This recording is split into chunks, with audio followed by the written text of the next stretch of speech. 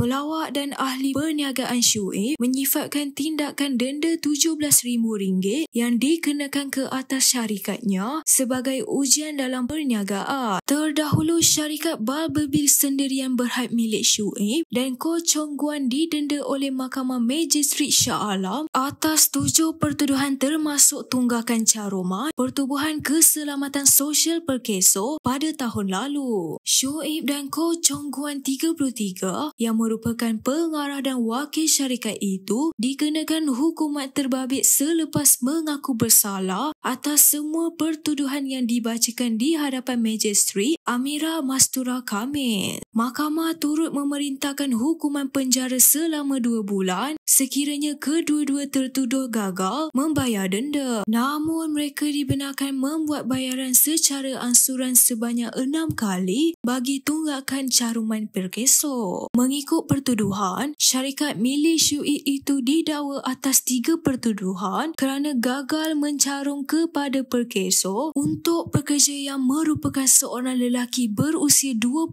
tahun untuk bulan Oktober hingga Disember 2023. Caruman tersebut diperuntukkan di bawah Seksyen 6 kurungan 1 dan kurungan 8 Akta Keselamatan Sosial Pekerja 1969 dan Peraturan 32 Peraturan-Peraturan Am Keselamatan Sosial Pekerja 1971. Tidak hanya itu, syarikat berkenaan turut didakwa dengan tiga pertuduhan lain iaitu gagal membayar caruman keseluruhan RM17.40 bagi pekerja dalam tempoh tiga bulan di bawah Seksyen 18 kurungan 1 Akta Sistem Insurans Pekerjaan 2017 Akta 800 dan Peraturan 9 Kurungan 1 Peraturan-Peraturan Sistem Insurans Pekerjaan Pendaftaran dan Caruman 2017.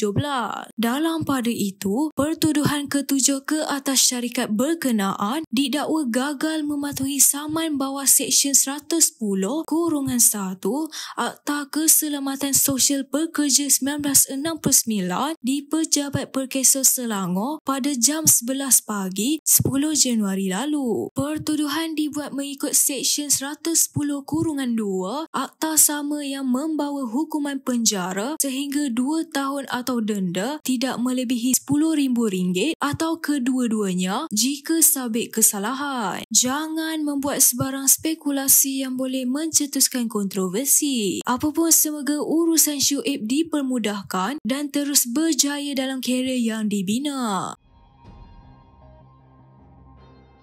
Thank you.